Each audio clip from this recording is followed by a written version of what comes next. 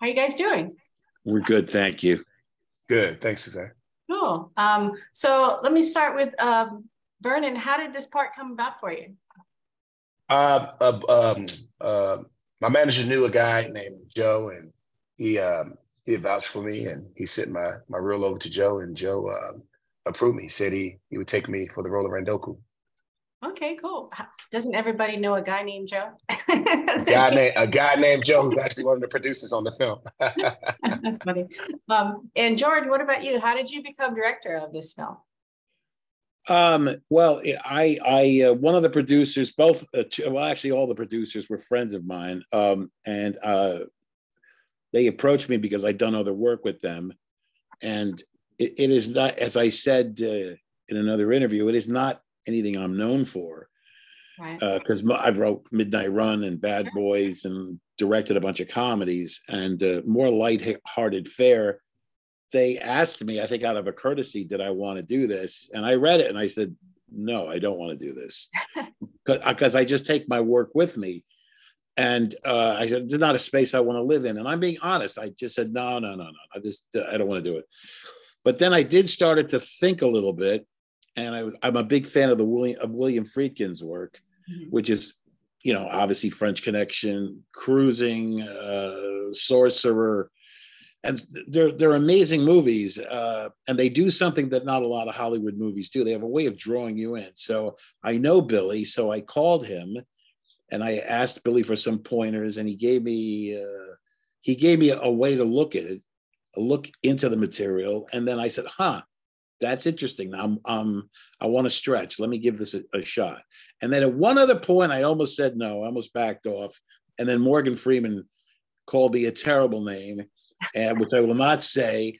And said he said, "Don't be a blank. Make the movie." And I went, "Okay, you got it, Morgan." So that's how that happens. that's funny. So, what made you decide to go from writing to directing? Well, I've directed a lot of movies now. I mean, originally, what me I studied as, yeah. a, as an artist. I was a painter. You know, uh, before I was even a writer, I went to art school. That's really what I wanted to be. I saw myself as this sort of bohemian painter type of guy, and then somehow I got drawn into movies, and I took a hand at writing screenplays, and then I got very lucky. I sold them. I knew nobody in Hollywood. Uh, I just knocked around, did my best, and then because of painting, I figured, well, I'm visually oriented, so let me let me see if I could apply the what I learned in art school, you know, plus drama, you know, learning how to write and, and, and translating that into film. Wow. Okay. Um, Vernon, uh, I have to say your accent in the movie sounds great. Uh, did you have to work hard at that, or did they have a coach, someone to help you with it? Yeah, I found I had a I have a dialect coach that I that I use for other films, and uh, I reached out to this girl in South Africa on Instagram. I DM'd her and I asked her, I said, Hey, my name's Vernon Davis. Uh, would you mind helping me with the translation of this? And she did. Uh, that was pretty awesome. And I just kept practicing. Hey, well, it's it sounds authentic. Oh, thank you. He's um, a wonderful actor. You know, I, I, I have to tell you, he he really truly is. He uh uh I have nothing but great things to say about you, Vernon. Personally, as a as a person, you. you're a great guy and you're fun to hang around with. But you're also a terrific actor, and you you you uh, you really uh, you embody. You can see you can you're gonna have a long career, my friend, as an actor. So, mm, thank you. You got it. In fact, I've got a part for you in another movie I'm going to talk to you about. Oh, let's go. I got. I get. Wow. I actually wrote it. I actually wrote it for you. Oh, that'd be dope. Oh, that's dope. yeah, yeah. I did. Yeah, so. that's dope. Well, definitely, okay. trans. Definitely, you have a lot of charisma, and uh, not only as as the uh, villain, but in that one scene, we scene in the bar, we try and charm that girl. Came over as very smooth and and charming. So it, yeah, that showed your range, definitely. Oh, thank you. I appreciate it. And at, at, the beginning of this movie, when you're escaping from tons of people chasing you and you're just pushing everybody out of the way, did that did that give you NFL flashbacks? yeah, NFL NFL flashbacks. Um, the running, the running maybe, but all the tactical stuff is is truly an art. I mean, you they don't teach that when playing ball. It is something that you have to really put time into, and we did. We were rehearsing. We were going through rehearsal with the moves and because you know you want to be big with with your punches, so it comes across real, realistic on film on uh, on actual film.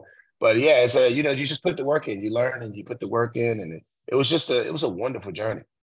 Cool, cool. And uh, did you do all your own stunts, or did did somebody else do some? Or a uh, combination.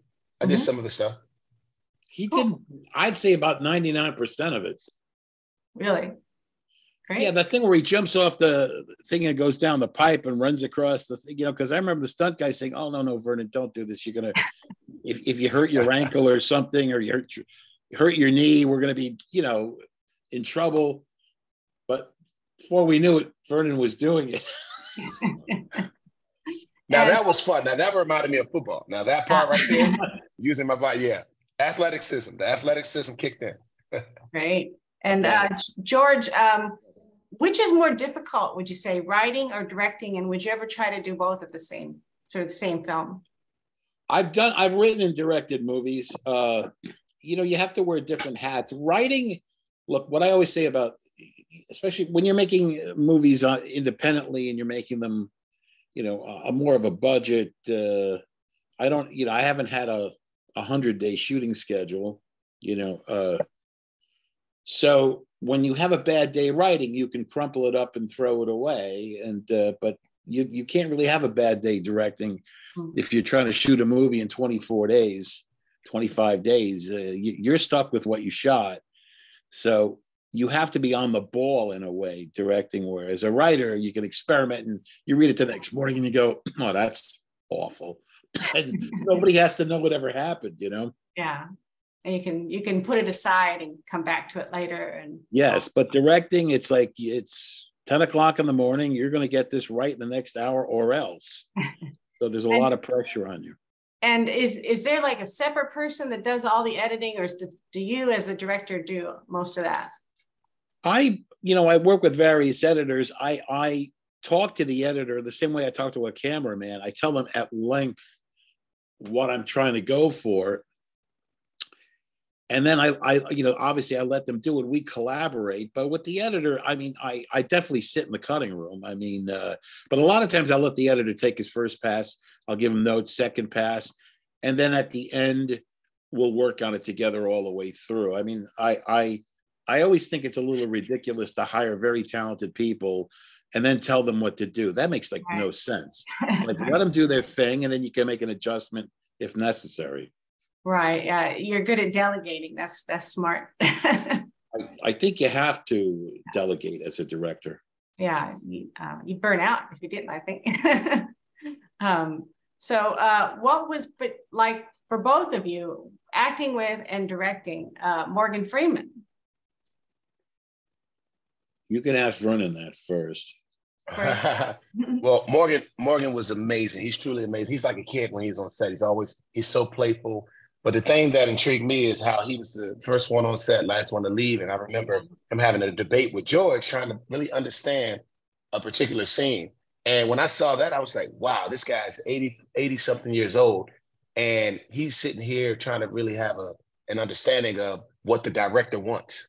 Mm-hmm. It was it was unbelievable because you don't see that. You know, I've I've done a few films now and I've worked with some some big guys and and I've never seen that. But for him to do that is really, really inspiring. But he's a he's a beautiful human being. He also he gave me some tips. Yeah, he's he's amazing, amazing. Good. And uh, George, what do you? I mean, my, I get to, you know, again, we, we don't have that much time. I, I know Morgan very well, and I know specifically what Vernon is talking about. I, and uh, Morgan is very aware of the movie that he's in, and he wants to know why he's doing everything. And uh, uh, and he got into a discussion with me and i really listened to him and at the end of like 15 minutes i knew he was right. So i just said you know what? You're right. Let's do it your way because your way's better. And that's that's really what happened. That was near the end of the movie. Uh um because he's also very very logical. So it's it's uh sometimes as a director you get these ideas in your head like visually you want to do something but they're somewhat illogical and you you work with good actors like Morgan, they'll they'll they'll straighten you out rather quickly. And uh, is there anything that uh, either of you would like to tell us about the movie or people who might want to see it? Um, Vernon, you could. Uh, um, I just say I, I'd say is uh this movie gives a lot of perspective. I think it's a really good, really good story, well written, um, beautiful cast, and it's uh it's a lot of excitement. I think people who who are really into to movies, I think they'll really like this one. Um, I encourage everyone to to see it because it is a thrill. Jordan. Yeah, and for me, look, it's it's it's a uh, it's an unfiltered look at something, and it's not like I say, it's not particularly pretty, but I think I I I to me, it's a throwback to a kind of movie that Hollywood doesn't quite make, you know, uh, right now. It's it's not a glossy thriller. It's a very dark, in your face, ninety five minutes. Uh, I think you'll walk away saying, "Wow, that was hopefully you'll say, wow, that was great. And I'm glad it's over. yeah, the, the scene at the end, which I won't mention, you know, this is not my kind of movie. And I enjoyed it. It was a little gory for me. But uh, at the end, and I was sitting all by myself in my living room. My husband was in, in bed. And at the final scene, I'm going, no, why would you do that? I said yeah. that out loud to myself. I have to tell you, that was speaking of that, that was Cole Hauser's idea. Really? Wow. Yeah, because that was not in the script. Okay. And uh, he comes out of the, he comes across the lawn. We were shooting in that house, and he goes, he goes, George, I, have got an idea, and we were just getting to know each other. You know what I mean? Because you, he goes, George, I've got an idea. It's, it's, it's, it's really sick, and I don't want you to think less of me for having brought. Dude, just tell me what it is. And then he told me, and I went, oh, that's going in the movie. So, yeah, it was a good ending. That's for sure. Thanks. Yeah, well, thank Cole Hauser. wow. Okay. Well, thank you so much. And I hope it does really well. And I appreciate you talking to me today. Thank you so Thank much. You. Thanks, Suzanne. Thank you. And, and uh, Vernon, don't forget the little people when you become big, rich, famous, like he says that you're going to be. All right. All right. Thank you. Bye bye.